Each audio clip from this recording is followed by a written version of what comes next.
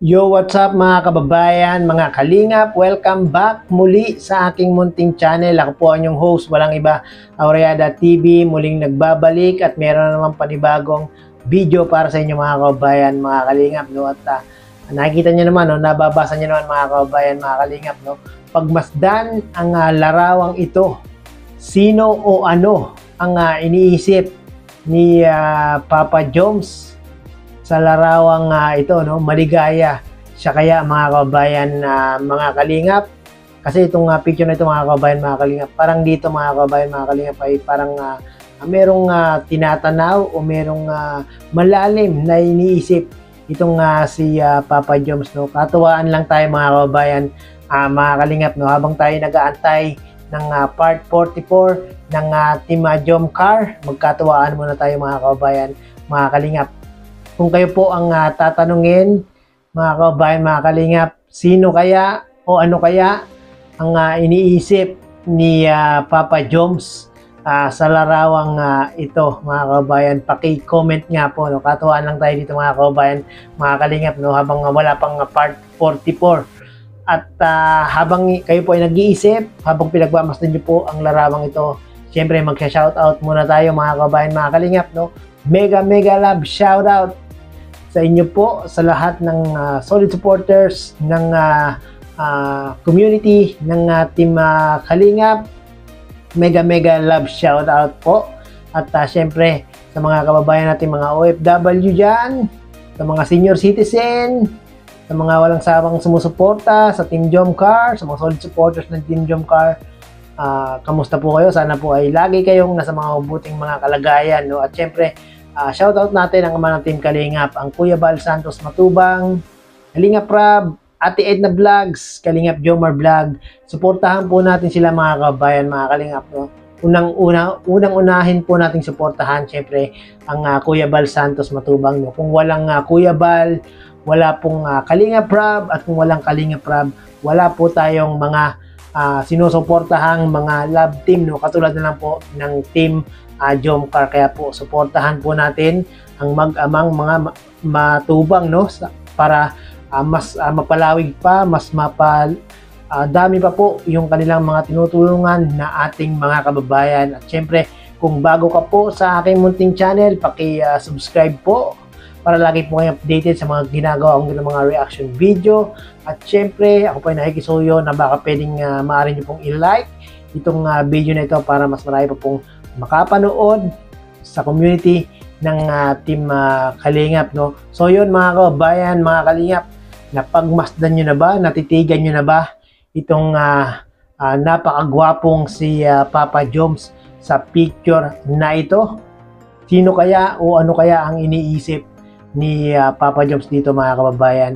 Um, mga kalingap no? Maligaya sa kaya mga kababayan mga kalingap sa pagkakataong ito nakapag isip na ba kayo? Nakapag comment na po ba kayo? Paki-comment na lang po mga kababayan mga kalingap no? at uh, re-reviewin natin kung ano yung mga uh, naiisip nyo sa pagkakataong ito sa picture ni uh, Papa Jobs no? Ako mga kababayan mga kalingap ang uh, ang tingin ko sa picture na ito mga kababayan mga kalingap no itong si Papa Joms eh uh, parang uh, nag-iisip na kung paano niya uh, masosolo si Carla sa Palawan mga kababayan, mga kalingap. Yan lang po yung uh, aking guess mga kababayan, uh, mga kalingap, na kung paano sila makakapag-date ni Carla nang silang uh, dalawa lang. No? At uh, yan yung perfect time mga kababayan, mga, mga kalingap na magkaroon si Jomar at si Carla together na sila lang uh, uh, dalawa no? Dahil talagang napakaraming uh, magagandang uh, uh, maraming uh, magagandang lugar diyan uh, sa Palawan no? Sa ambes nasa El Nido sila no mga kabayan uh, mga kalingap nako.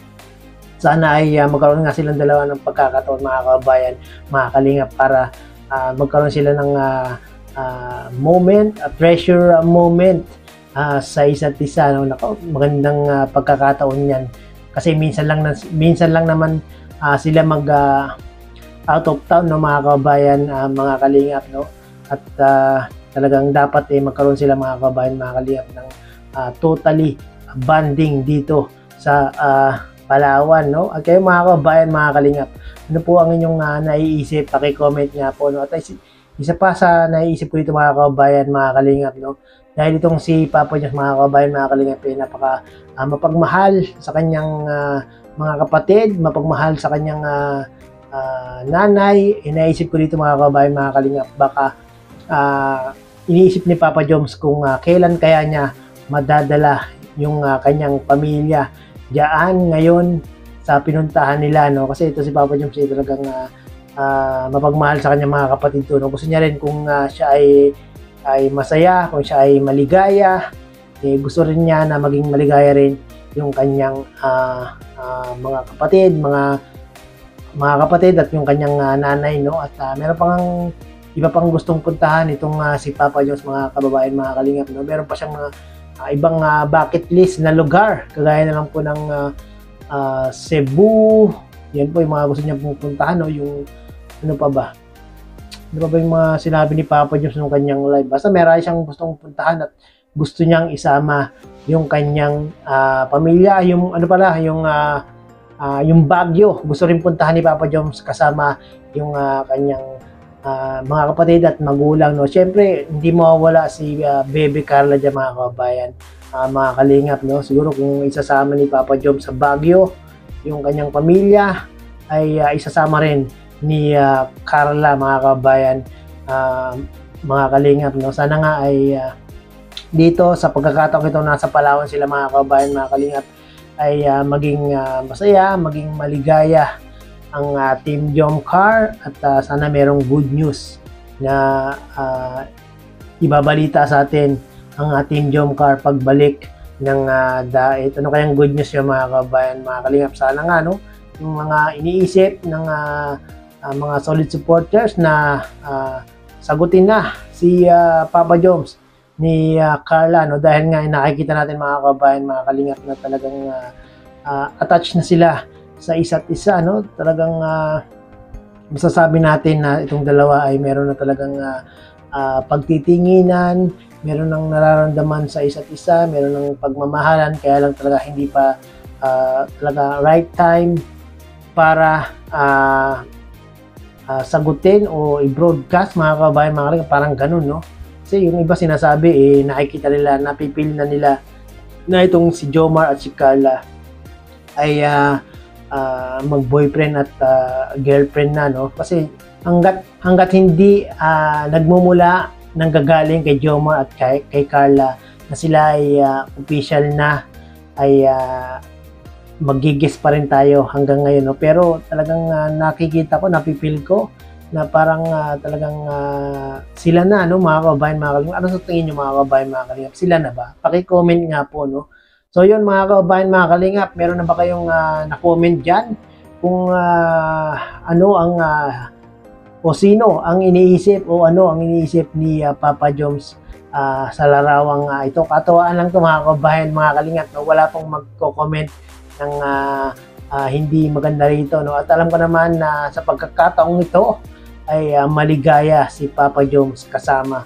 si ah, Carla no, mga kabayan, mga kalingat. No? So yun, hanggang dito na lang ang aking ah, reaction video. Sana ay ah, nakapag-comment kayo at ah, mamaya akin pong babasahin ang inyong mga comment. No? Maraming maraming salamat po